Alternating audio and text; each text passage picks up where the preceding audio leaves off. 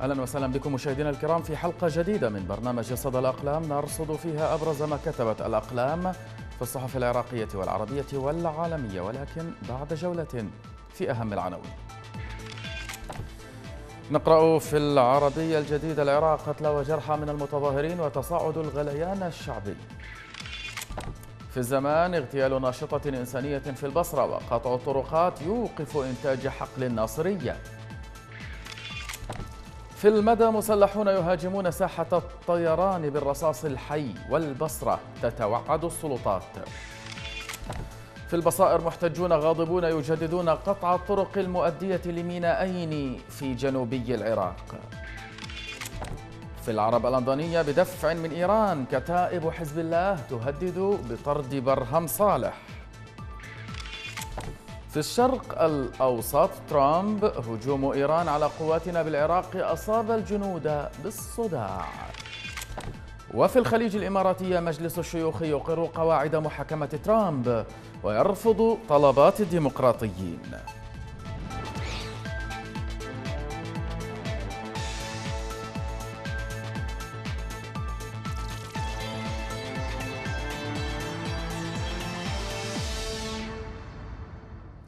الآن من العناوين التي اخترناها لكم أعزائنا المشاهدين إلى ما اخترنا لكم من مقالات والبداية بهذا المقال وجاء في مطلعه. بعد مقتل قاسم سليماني ربما أضاعت إيران الخيوط مع الجماعات الدينية التي تنوب عنها في العراق وسوريا واليمن وباكستان وأفغانستان. أما لبنان فوضعه مستقر بوجود وكيلها. زعيم ميليشيا حزب الله حسن نصر الله رشيد الخيون يقول في صحيفة العرب اللندنية إن إيران اختارت مقتدى الصدر. لتعويض قاسم سليماني والحفاظ على نفوذها في العراق. يبدو أن إيران من خلال الاتكال على شخصيات عربية مخلصة لإدارة الملف العراقي الذي يعتبر بالنسبة لنظام الولي الفقيه قضية حياة أو موت. أرادت تعويض قاسم سليماني اختارت إيران مقتدى الصدر حليفا وذراعا. بعد أن أصبح الأتباع التقليديون أقل نفعا لها. ومن أولى المهام التي أوكلت لمقتدى الصدر وتياره مهمة مزدوجة وهي من جهة أولا إطفاء التظاهرات العراقية الموجهة بالأساس ضدها وضد أذرعها ومن جهة أخرى مشاكسة الأمريكيين والدعوة إلى التظاهر المباشر ضد وجودهم داخل العراق. وهذه المهمة المزدوجة ينفذها التيار الصدري عبر المليونية المزمع انطلاقها في يوم الجمعة من ساحات التظاهر. غير أن ذلك لا يعني أن إيران قد باعت أذرعها الأخرى بل بالتأكيد ستحتفظ بها مع إعطاء الأهمية لمقتدى الصدر وتياره. قد يقول قائل وهادي العامري وقيس الخزعلي أو الجزائري وسواهم من المحسوبين على إيران أكثر من كونهم عراقيين والإجابة أن هؤلاء غير مؤهلين إلا لقيادة مجامعهم وليس لمهمة إدارة الملف العراقي لإيران. هذا ومن دون إغفال دور السفير الإيراني في العراق نفسه الذي تختاره إدارة الولي الفقيه بعناية. رشيد الخيون يرى أنه بعد مقتل سليماني لا يمكن لإيران الاعتماد على نائبه إسماعيل قعاني الذي حل محله في قيادة فيلق القدس. إنما عملت إيران على تغيير المواقع والشخوص والأكيد أن الأجدر بمهمة الحفاظ على وجودها في العراق أن توكلها لمقتدى الصدر وحسن نصر الله.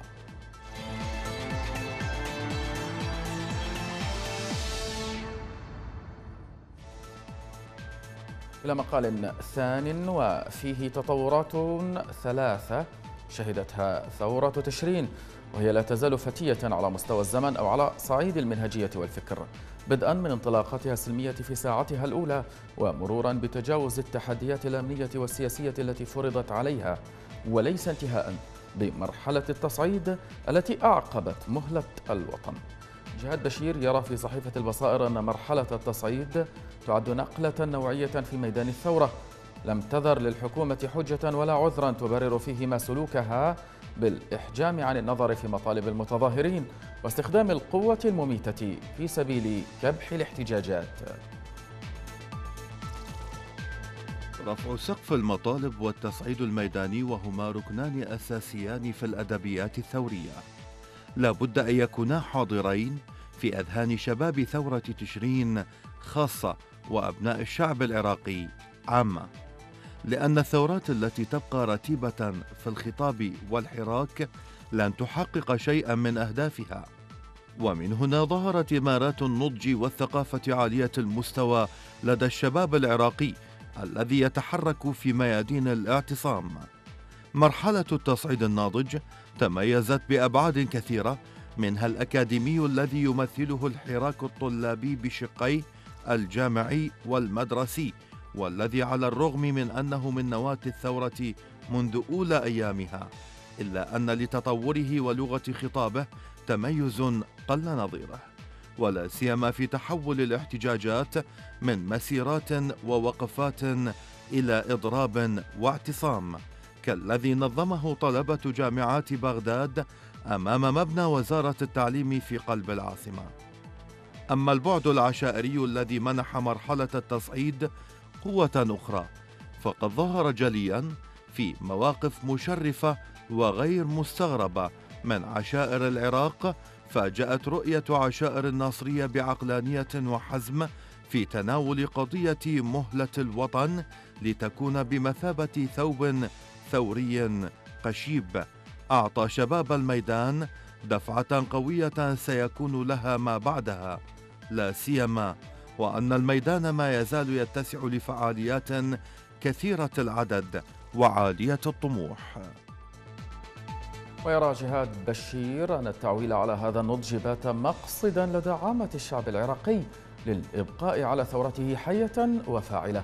لذلك فإن المسؤولية على المتظاهرين تتزايد وأمس الأمر يتطلب ضخ مواقف جديدة وتأكيدات ثابتة على ارتفاع سقف المطالب لأن محاولة الرضوخ إلى حدود أدنى مما أعلن عنه أو أعلن عنه المتظاهرون بإسقاط النظام والإطاحة بأحزاب السلطة ستكون أشبه بالسير على جرف هار من شأنه أن يجعل دماء الشهداء في مهب الريح.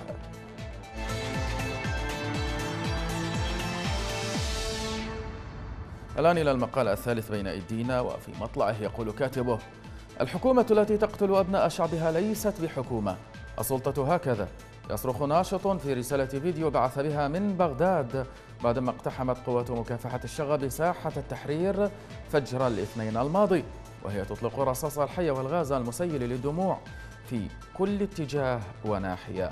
عبد اللطيف السعدون يقول في العربي الجديد إن عاما آخر بلون الدم يطل على العراقيين وهم في سعيهم من أجل نيل حريتهم واستقلالهم والاستعادة وطنهم الذي فقدوه قبل أكثر من 16 عاماً. الحكم الذي أطلقه هذا الناشط على حكومة بلاده لا يجافي الحقيقة خصوصا بعدما أمعنت في سلوكها الشرير في قمع حركات الاحتجاج التي عمت أرجاء البلاد. وفي رفضها الاستجابة لمطالب المتظاهرين في رحيل الطبقة الحاكمة وقيام حكومة انتقالية وحل البرلمان وإجراء انتخابات مبكرة والعمل على مكافحة الفساد. بالتوافق مع صرخة هذا الناشط ارتفعت أصوات إدانة وشجب لما تفعله الطبقة المستأثرة بالسلطة. جديد ذلك صوت جنين بلاسخارت ممثلة الأمم المتحدة في العراق التي أعلنت رفضها حالات القمع العنيف للمتظاهرين السلميين. يفصح عن الإشارات اللماحة في رسالة بلاسخارت بشكل أكثر وضوحا. تقرير هيومان رايتس ووتش السنوي الذي حمل عبارات فاضحة للحال الذي يعيشه العراقيون في ظل سلطة القتل والقمع واللصوصية التي أقامتها واشنطن واستثمرتها طهران. وما وثقته هيومان رايتس يرقى إلى أن يضع كل رجال الطبقة الحاكمة في العراق في أقفاص الاتهام أمام المحاكم الدولية بتهمة ارتكاب جرائم ضد الإنسانية مع أنه يمثل غيضا من فيض وعينات من حصيلة أكبر وغير هذا كثير مما لم يسجله التقرير وربما لم تصل إليه عيون هيومان رايتس ووتش لسبب أو لآخر. يتابع عبد اللطيف السعدون مقاله متسائلا من يتحمل مسؤولية كل تلك الجرائم والانتهاكات والخطايا التي ارتكبت على مدى تلك السنين؟ والتي لا سبيل إلى غفرانها من دون أن يصل العقاب إلى مرتكبيها أمام محاكم عادلة عندما تقوم سلطة الشعب التي بشر بها الناشط العراقي في رسالته من ساحة التحرير.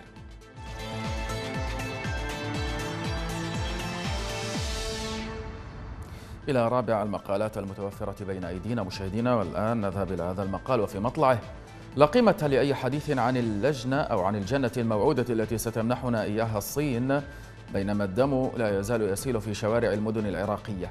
لا معنى للحديث عن دافوس بينما الجنازات تدور في الشوارع حاملة جثامين شباب توهموا أن هذه الدولة ستفتح لهم أذرعها.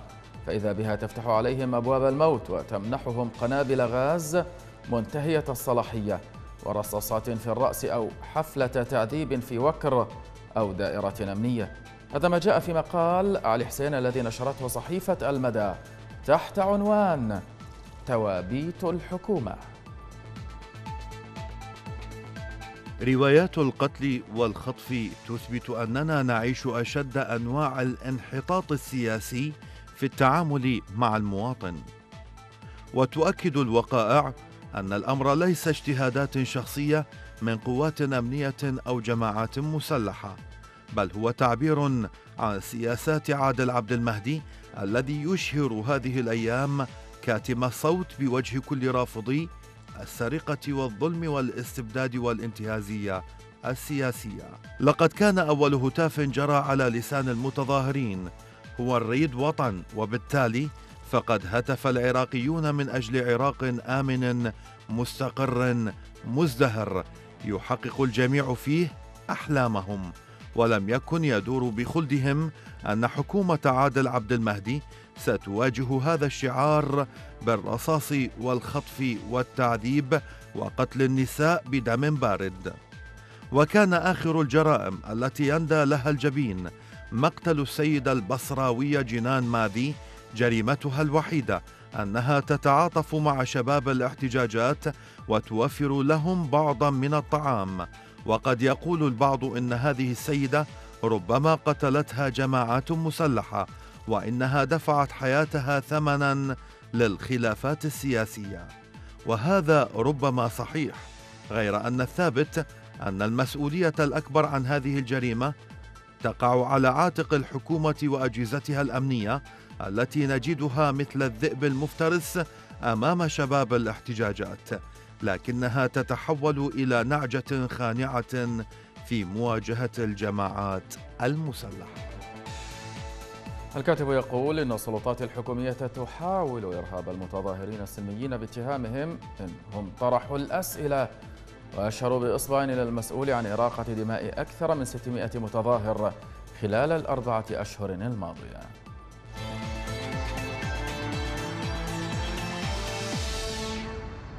الآن نذهب وإياكم إلى مقالنا الخامس وجاء في مطلعه.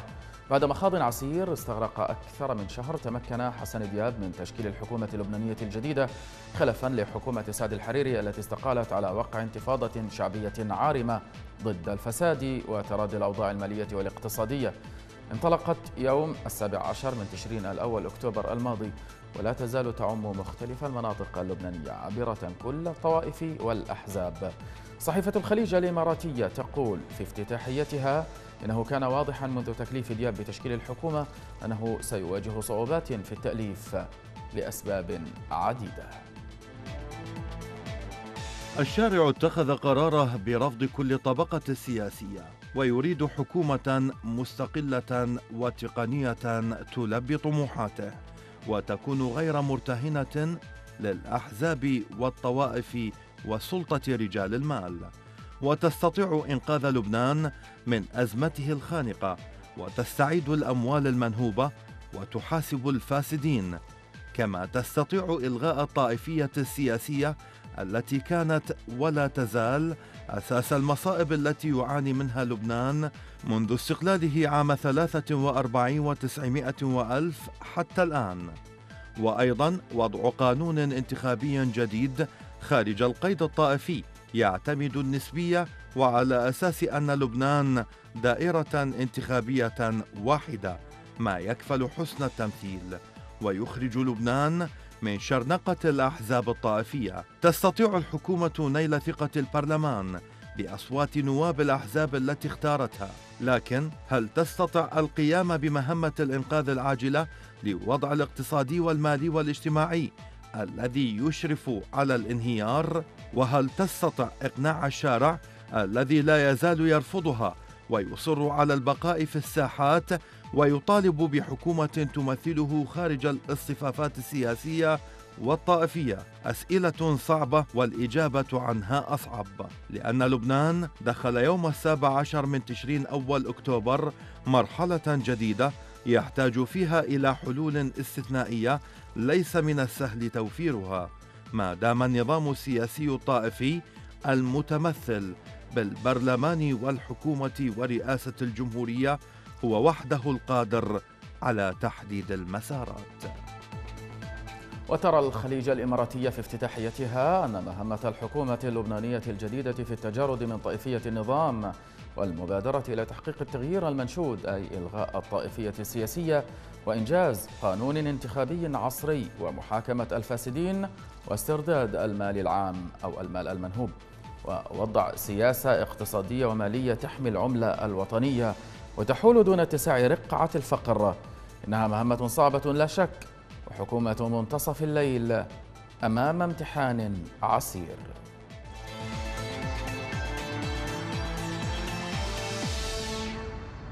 وصلنا الآن وإياكم أعزائي المشاهدين إلى المقال الأخير وجاء في مطلعه نشرت صحيفة الإندبندنت البريطانية تقريرا قالت فيه إن الجنرال خليفة حفتر وخطته لحيازة السلطة المطلقة في ليبيا أصبحت عقبة أمام السلام في البلاد. وأشارت الصحيفة إلى أن اللاعبين الدوليين والإقليميين يتحملون مسؤولية الأزمة المستمرة دون نهاية والتي دخلت الآن عامها التاسع وأصبحت بشكل واضح ومتزايد حربا بالوكالة. الصحيفة قالت أن التناقض بين طموحات حفتر الواسعة والقدرات المحددة ظهر الآن بصفته عقبة كأداء أمام نهاية الحرب الليبية العنيفة التي تشابكت فيها مصالح الدول. مشيرة إلى أن النزاع يهدد بأن يغمر المناطق المأهولة بالسكان ما يترك آلاف المواطنين عرضة للموت أو الإصابة ويخلق فيضانا من المهاجرين صوب أوروبا. وتستدرك الصحيفة أن من يعرفون حفتر يقولون إنه يشتري الوقت ويبني قواته ودعمه الدولي من أجل الحصول على السلطة المطلقة.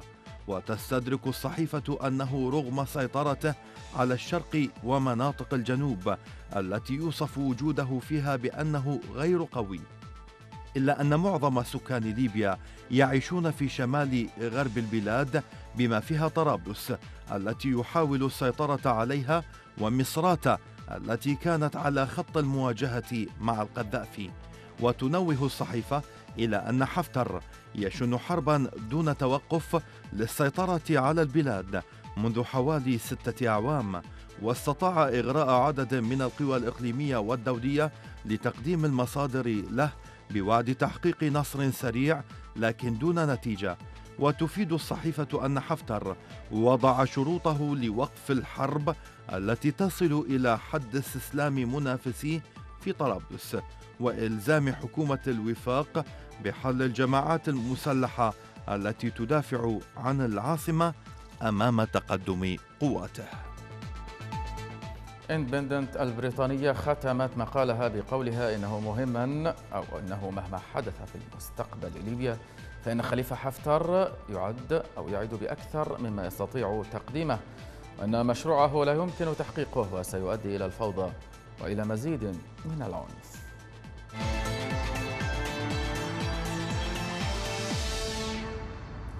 بدأت السلطات المحلية في ولاية نيو ساوث ويلز جنوبية أستراليا بتطبيق قانون صارم للسلوكيات التي يمكن أن تتسبب في إضرام الحرائق وشرعت بتغريم كل من يلقي أعقاب سجائر مشتعلة من سيارته بمبلغ 7539 دولارا أمريكيا.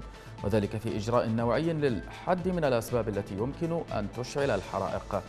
وبحسب موقع الجزيرة نت فإن القانون الجديد يغرم أيضا ركاب القطارات الذين يرتكبون المخالفة نفسها بمبلغ 411 دولارا أمريكيا وينص على مضاعفة الغرامة في حال حصول المخالفة في المواقع التي يمنع فيها إشعال النار.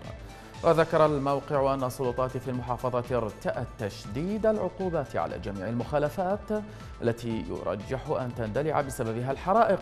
وقال إنها قررت عدم التسامح مع المخالفين بعد الحرائق الهائلة المفزعة التي اندلعت في البلاد منذ أيلول 2019 وتسببت بمقتل 28 شخصا ونفوق أكثر من مليار حيوان وحرق أكثر من عشرة ملايين هكتار من الأراضي.